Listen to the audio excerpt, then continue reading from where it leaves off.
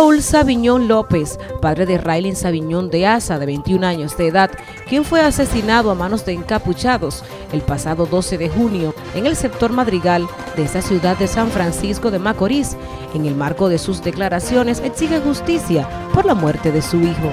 Entonces la fiscalía está claro ya y todo está claro de quién fue que lo mató, que ejecutó al hijo mío que lo mataron. Entonces no resuelven ni una ni otra. Entonces yo estoy desesperado sabiendo yo quiénes fueron.